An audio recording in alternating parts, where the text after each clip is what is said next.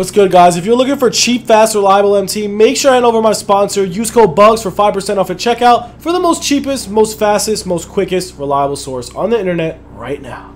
What's good, YouTube? It's your boy Bugz back on another NBA 2K22 My Team video. And guys, today we are going to talk about a couple things um, in this video. So if you guys are new, make sure to sub it up, comment down below. More subs, more likes, more comments. Every comment will be answered, and we'll do a giveaway tomorrow. We do it the like goal of 50 likes. 50 likes. We have a really good MT method today, and we're to pretty much mostly talk about tomorrow because tomorrow there should be, in my opinion, a really big market crash. So get ready for that. And I have my MT stacked at 115. I made another 20k yesterday. Didn't really play the game too much. And now we are rolling, guys. I am going to give you a couple tips. And also, if you guys do need MT, I should have some MT in stock for tomorrow. If you guys do need MT, make sure to hit me up on Instagram and or Twitter. Links down below. And if you're interested in sports cards, make sure to hit me up. But uh, we're going to get into this video. So I've noticed a couple things. The market's actually starting to crash right now. Chris Paul and Tim Duncan is slowly dropping, which means the market is definitely dropping right now. Um, so tomorrow we're going to get new content. I think we're going to get some diamonds. I think we're going to get some current day players. Um, and we're to get a legend. My guess is we're to get either a Giannis, a Kevin Durant, a Kyrie, not a Kyrie. I think tomorrow we're going to get our first Giannis, our first either LeBron, Giannis, or Kevin Durant. And why do I say this? Or Curry as well. Because, and Harden, we could possibly get a Harden as well. But Giannis, Curry, and Harden do not have, and LeBron, do not have cards over Sapphire. So, oh, we just got a nice snipe on Giannis right there. 6,700, 6,600. All right, bet. So we just got a quick little snipe on the Giannis filter. That's what I've been running for a while. So make like a 600 MT. But uh, as of right now, if you guys been paying attention, there's only a couple cards. Like Giannis, Durant, LeBron, they all have two. Their, their overalls are just not high enough. And 2K is obviously going to execute that because they want to make money on their packs. So we're just going to keep going over these prices. They don't have any higher overalls in the game. So looking over this, LeBron, Giannis, all these cards really aren't usable as of right now. I've played with all of them. I don't think any of them are good. I think we just sniped out a LeBron. 5,700. No, never mind. So LeBron Sapphire, Giannis Sapphire. Um, there's a couple other cards. So definitely try that out. Um, right now there's a Kevin Durant and he's not even auctionable because if you go to the My Team base set, um, where is it? The Nets. He's not even in the My Team base set. My guy Kevin Durant is literally in the premium set. Or no, he's in the reward set. You get him for free. So that makes no sense to me. Kevin Durant's got to be a card where we could all get and we all could use. So I think tomorrow they're going to drop some heat.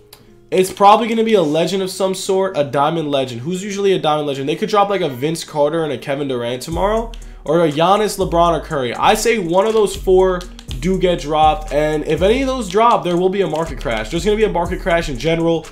Um, especially in the Ruby end because Lauri Markkanen already crashed the Ruby end. So I do believe... Ooh, that's a good price. I'm buying that. Just got a Gus Williams. He's really good in the early stages of 2K.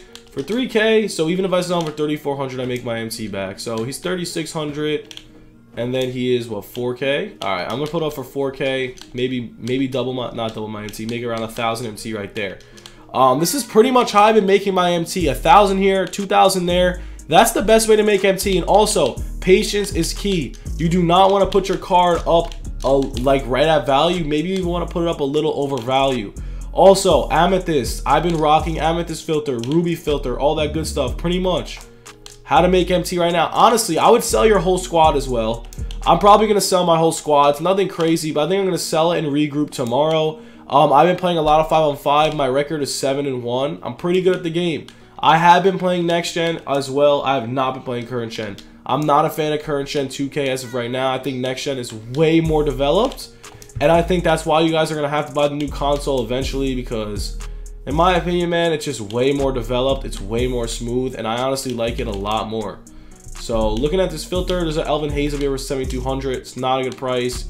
He can't really shoot. He's really not a good player in his game, so I'll stay away. But yeah, pretty much to make MT today and tomorrow, you would sell your whole team. And if you sell your whole team, you're going to get at least 10K. I, I, would say at this stage of the game. If you got the game Tuesday, you should sell your team and at least get 10K together for tomorrow to snipe.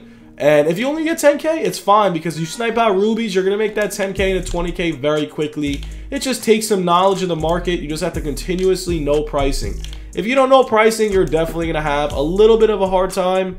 And uh, pretty much, that's the market tip I give you. Ruby filter, all that good stuff. Also, I haven't checked out the diamond shoe filter at all, but we're going to check it out now. And as you guys can see, the diamond filter is still really, really tough.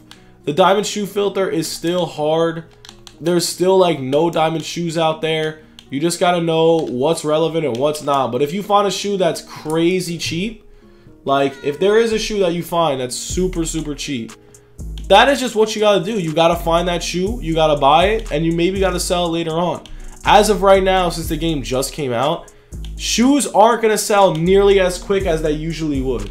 So you might have a little bit of trouble selling shoes if you do buy them. You just got to know that you want to buy them for a cheap amount. If you're going to spend money on shoes, try to not spend more than 6K as of right now because the shoe market isn't really there yet. It's just not there. It's still really early in the game to get the shoes going in my opinion. But uh, Amethyst, Ruby, Sapphire, I've been honestly, I've been honestly checking out this filter a lot as well. It's not really a filter, it's more a player. But actually, you could do this. Shooting guard, Amethyst, man. Um, looking for Ray Allen. So looking for Ray Allen and Bradley Beal. Their prices are really interesting because a lot of times they can be up for 25k. You could flip them for 33. So I actually have been looking at Ray Allen and Beal. People do put them up for a lot cheaper because a lot of people don't have a lot of MT this month. So since there's not a lot of MT flow in the market, people are really, really, really going to want to get it for cheap. So Ray Allen went up in price a lot. That man was 28k. He's now at 37k, Gem Mint 9 graded which is pretty cool. And this Bradley Beal did drop. I think his price will drop even more tomorrow because he's in the prime time set. Um, usually the Friday set is a good investment because the Friday set usually does go up and is usually rare towards the end of the game.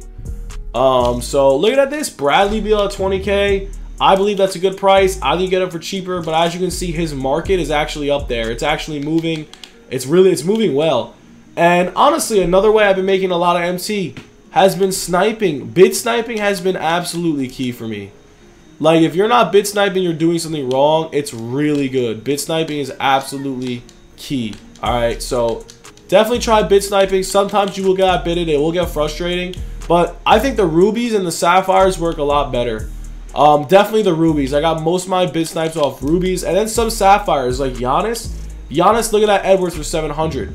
That Edwards could sell for 1200. You can make a decent amount of MT.